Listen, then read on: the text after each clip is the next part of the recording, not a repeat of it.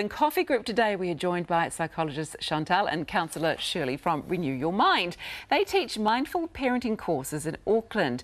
Good morning to you both. Morning. Now, in your line of work, uh, you must hear a lot of parenting myths. Would that be right? Yes. So, Chantal, what are the parenting myths that? What are the problems with them?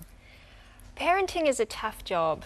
And if you add all these unrealistic expectations, you're adding a lot of pressure that is really not helping. Yeah, so we're talking about things that maybe if you look at people's Instagram accounts exactly, and you see yeah. their perfect child, their perfect child wearing skills, that yes, sort of thing. Yeah, and maybe they're, a few they're myths in perfect houses and the kids always look happy and clean and, and it's just not realistic. Sit down, mummy wants to take a photo, you will look happy. um, so Shirley, what's one of the parenting myths that you find uh, that stands out for you? Yeah, I mean, one of the ones that I was always intrigued by was the idea that children need quality time. And I remember reading things like 15 minutes every day, one on one focused attention, and you could set a timer so that they would know when it was over, or taking your children out for a date, you know, like a regular one on one date. I can't even find the time to do that with my husband.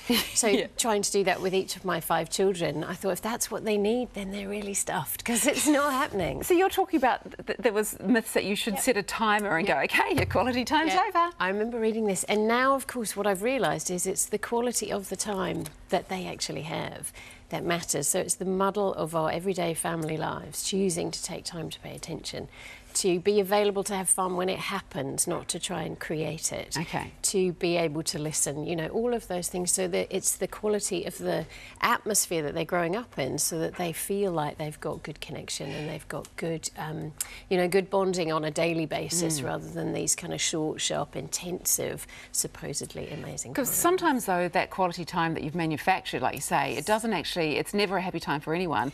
Whereas the quality time that you get, So disappointing. yeah, isn't it just? There's just such pressure for the kids, for them to be well behaved, for them to really enjoy the food, for them to have a lot of fun, and for them to suddenly open up and be honest. And the parents Those are also saying the same happen thing. on cue. You yeah. want that. You want that quality time, and everyone's got to be happy. A couple of weeks ago, when we had those uh, the, the floods in Auckland, best quality time ever. Went out and just waded through the flood water. It was so much fun.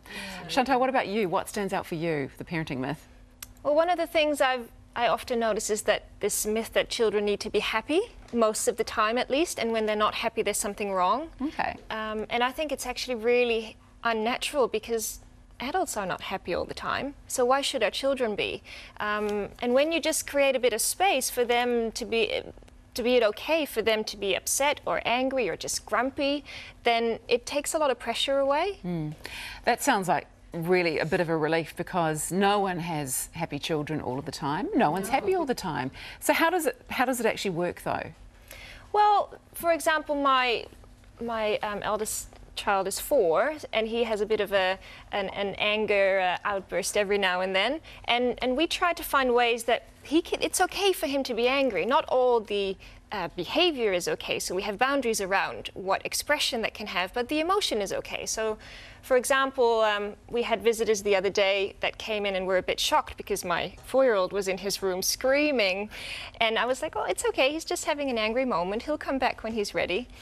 And they're going like, right, we're not coming back to visit here for a while. These guys are crazy. But that is Yeah. true. Sometimes they just need it, don't they? They just need you to mm. say, okay, I know you're grumpy. Just get it out of your system for a bit, then come, you know, you'll be fine. Don't break anything, but Yeah. go on, let it out, and then when you're done, come back Come and we back can talk about it. and accept them as it. Shirley, what do you think on that? Yeah, I mean, a good example for me is how I got this wrong consistently for many years, which was picking the kids up from school every day. And I thought I was so lucky because I didn't have to, you know, be at work for that time. And so I was going to make the use of the time. So every day, how was your day? Tell me about your day. And I'd either get silence or I'd get a catalogue of bad news from the day. And I was so frustrated that it turned into really poor quality time. And now I go and I have no idea what they'll need. They might need empathy, they might need listening, they might need silence, but what they get is good quality, ordinary, everyday time. Yeah, it's the ordinary that is actually the best of the best at mm. times, isn't it? Chantal and Shirley, thank you so much for coming in today.